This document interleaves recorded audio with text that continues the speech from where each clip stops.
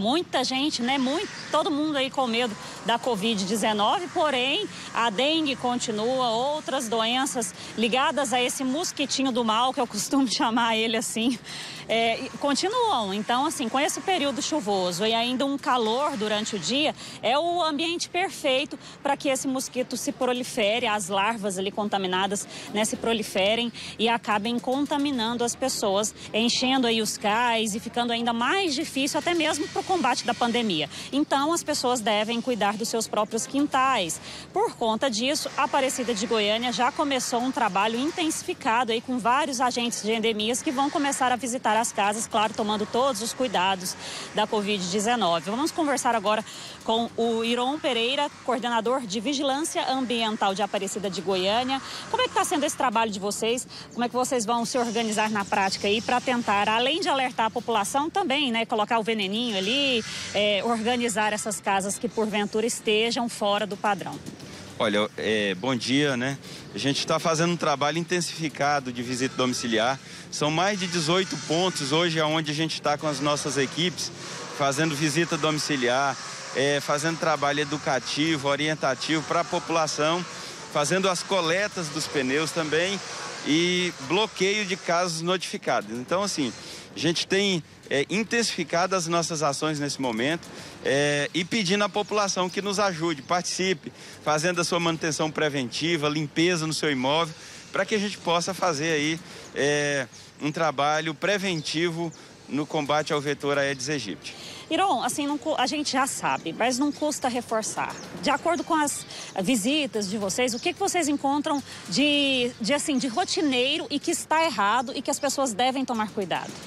Olha, hoje a, a, o que é mais comum né, são as vasilhas descartáveis, o lixo doméstico, às vezes que a pessoa é, acumula ali no lote, deixa de forma incorreta e esse material ele serve de criador do mosquito e naturalmente com esse período de chuva é, e calor também é, facilita para a reprodução do Aedes aegypti. Então é importante fazer essa manutenção preventiva, fazer essa visita aí é, é, preventiva e também receber os nossos agentes quando eles baterem no portão, porque eles vão trazer informação, eles vão trazer ali um, um, um, momento onde a pessoa pode ali ser orientada com relação à, à reprodução do Aedes aegypti. E só para as pessoas entenderem também, os agentes de endemias podem é, notificar essa pessoa ou podem aplicar alguma multa em relação ao quintal se estiver muito sujo ou não? Como que é?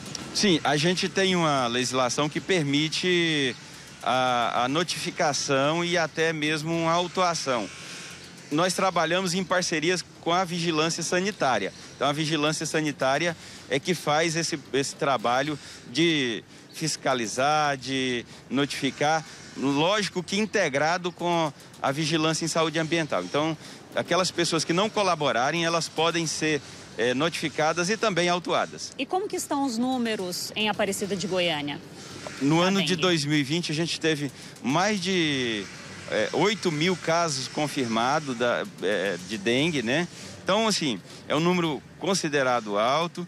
É, felizmente, a gente não teve nenhum óbito confirmado por dengue. Então, assim, é, foi um trabalho feito de vigilância e assistência também que deu, extra, é, deu a, a, a, é, capacidade de atender esses pacientes e não perdermos nenhum paciente em virtude da, da, da, da dengue. Graças a Deus, né? E é um trabalho muito sério que tem sido feito, Manuela. Eu vou até passar alguns dados em relação à dengue em Goiânia de, do começo do ano passado até a final da primeira quinzena de dezembro, foram mais de 15, quase 16 mil casos de dengue notificados, viu?